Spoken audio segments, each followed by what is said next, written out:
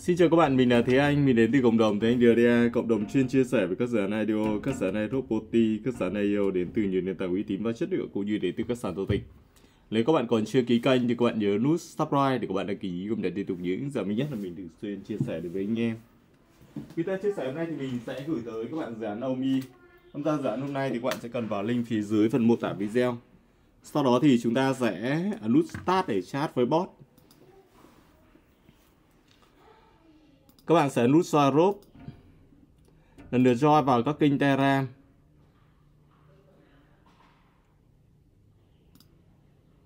Mở tất cả những kênh mạng xã hội còn lại là Mở Instagram. Mở Discord. Join vào kênh Telegram.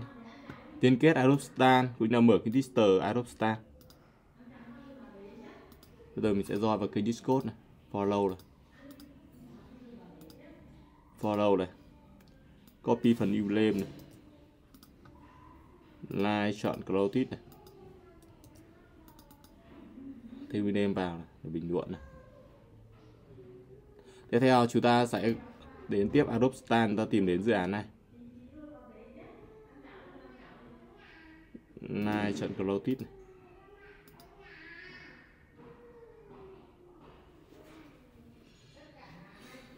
Rồi lúc này chúng ta ấn vào phần profile đi.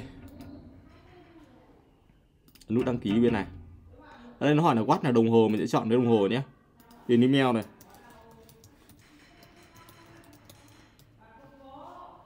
Phần địa chỉ ví, các bạn dùng ví ETH ở trên trước wallet hoặc metamask, chúng ta copy phần địa chỉ ví ETH sau đó quay trở vào page vào. Twitter link. Chúng ta copy phần profile link paste phần profile link của Twitter phía dưới đây. Retweet link ta chọn tweet Daphne chọn phần thời gian bài đăng này. Sao chép phần link này? Paste phần link phía dưới đây. Instagram chúng ta chọn ai vừa join đến Instagram link chúng ta ấn vào phần à, profile, copy phần profile link của Instagram. Chọn ai vừa join Discord chúng ta sẽ ấn vào để copy phần username của Discord.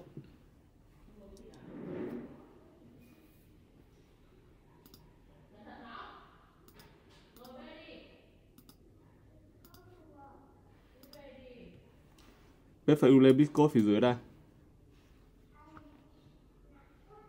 Chọn đây vừa join này. Chọn đây vừa join tiếp này. Ta join một trong ba group ở đây thì mình đã join group thứ ba nhé. Bây giờ chúng ta nút đôn, nộp phong là xong. Ok vừa rồi chúng ta đã cùng nhau chia sẻ về dự án Omi Bây giờ thì mình sẽ gửi tới anh em video hướng dẫn. Cảm ơn em đã theo dõi video và xin chào các bạn. Nhìn ra tiếp theo.